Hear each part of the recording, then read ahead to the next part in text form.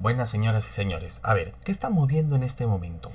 Ustedes comprenderán que en estas épocas muchas personas están queriendo viajar de un lugar a otro dentro del país y que se están registrando diversos bloqueos manifestaciones, etcétera, etcétera. Y lo que menos quieren ustedes y yo es quedarnos atorados, atascados en una carretera. Nadie quiere eso. Pero entonces habría que checar esta información. Oye, ¿y yo cómo sé dónde está bloqueado y dónde no? Aquí es donde este mapa le va a ser de utilidad. Ya, ya, qué bonito. ¿Y cómo llevo este mapa? Este mapa es oficial de la SUTRAN, de la Superintendencia de Transporte Terrestre de Personas, Carga y Mercancías. Actualizado casi en tiempo real, debo decirles. Y lo vi, sí, el día de hoy en un reportaje que estuvieron pasando, perdón, en una entrevista. ¿Cómo llegamos a ver este mapa antes de analizar el mismo, propiamente dicho? Van a Google, yo lo encontré de esta manera, mapa Sutran bloqueos. Yo lo encontré de esa forma, seguramente sale de otras, ¿no? Y van al segundo, alerta de estado de vía, mapa interactivo. Yo he entrado de esa manera. Y en ese punto vamos a ver todo este mapa, este mapa del Perú, ¿no? Ahora, sobre esto, ¿qué quiere decir qué cosa? ¿Mm? Particularmente donde se tiene que poner bastante atención es en los puntos amarillos y en los puntos rojos. En, vamos a decirle de alguna manera, por ahí es donde está bastante complicado por el tema de las manifestaciones. Ay, ¿tú cómo sabes que son manifestaciones? Bueno, por ejemplo, aquí vamos a dar clic en este punto amarillo que se encuentra por Huancayo, un poco al sur, ¿no? Y si damos clic se va a desplegar este mapa. Bueno, perdón, esta información que dice fecha del evento 12 del 12, eh, fecha de actualización el 18 del 12, es decir, hoy día a las 21.45, a las 9.45, ¿no? Kilómetro 12, 12 kilómetros, perdón. Y el evento es que hay un grupo de personas protestando que están solicitando nuevas elecciones presidenciales y disolución del Congreso. Así es la cuestión. Pero hay otros lugares que la situación no está en amarillo, sino en rojo. ¿Por qué? Ah? A ver, aquí está también igualito. Tránsito interrumpido, afectación 415. Carretera la longitudinal, perdón, longitudinal de la Selva Norte. En Ubigeo, Ucayali, Padre Abad, Padre Abad. Esta información ha sido también actualizada el día de hoy a las 9.45 de la noche y el evento es que hay un grupo de personas que están solicitando nuevas elecciones y disolución del Congreso.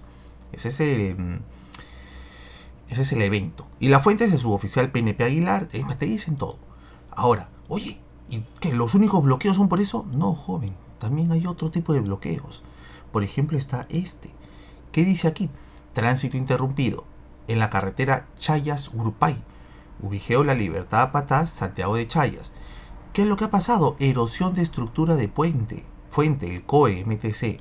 Aquí hay un problema con el puente. Así que el tránsito está interrumpido porque es peligroso pasar por ahí. Ahora, ¿Esta es la única información que se dispone? No, hay más información también, ¿ven? Están los puntos verdes, que en las cuentas, o sea, todo tranqui, entre comillas, pero hay más. Ahora alguien me dirá, ¿y cómo puedo quitar los puntitos verdes, los puntitos amarillos? ¿Hay maneras? Claro que sí, hay maneras. Por ejemplo, van a ver acá, alerta de estado de vía. Y lo van a abrir ustedes. Ven acá el tránsito normal, que son los puntos verdes. Por ejemplo, acá, si queremos ir para Santa Eulalia, o perdón, para... Mm, ah, ¿Dónde está? Para San Juan de Cupiche, por ahí. Santa Eulalia también sigue siendo buenas cuentas. Eh, todo normal. Está verde. Ahora, ¿qué sucede? Si ustedes no quieren ver lo del tránsito normal, lo quitan. Y se van a dar cuenta que ya no aparece lo verde y solo se quedan con la parte amarilla y roja. Acá puede ser un poquito más intenso. ¿Por qué? Porque se da cuenta que hay 10 pasajeros y mercancías 10 detenidas en la zona. O sea, 10 vehículos que no, no pueden pasar. Y eso está en la longitudinal de la costa sur, en Arequipa, Carabilí, Chala. Ahí hay vehículos que se han quedado detenidos. No pueden pasar. La fuente es el técnico PNP Aguirre. Acá hay otro. Por ejemplo, miren, miren, miren. Este es amarillo y no tiene que ver creo que con las manifestaciones. ¿Qué sale aquí? Eh, evento, deslizamiento de tierra por intensas lluvias. O sea, siempre antes de viajar a algún lugar, recomendado darle una revisadita a este mapa de la Sutran, ¿no? que se va actualizando en varias veces al día, en, casi que en tiempo real. ¿no? La última actualización ha sido hace un par de horas. Así que si alguien va a viajar ahorita en la noche, una revisadita, pues, ¿no? Claro, porque te vas a dar cuenta que por aquí no vas a pasar porque hay deslizamiento de tierra. Si es que vas eh, rumbo a la carretera Urcos, Mazuco, Iñapari. ¿Ven? Se dan. Esa es la cuestión. Y esta información, en buenas cuentas, es bastante, pero bastante útil. Mira, por desaguadero, manifestantes se retiraron de la vía, se recupera la transitabilidad de la zona. Grupo de personas protestan solicitando nuevas elecciones presidenciales y disolución del Congreso. Han bloqueado la vía, quemando llantas en ambos sentidos cinco pasajeros, cinco vehículos de mercancía. Esa es la parte de Mazocruz, de Zaguadero, casi con Bolivia.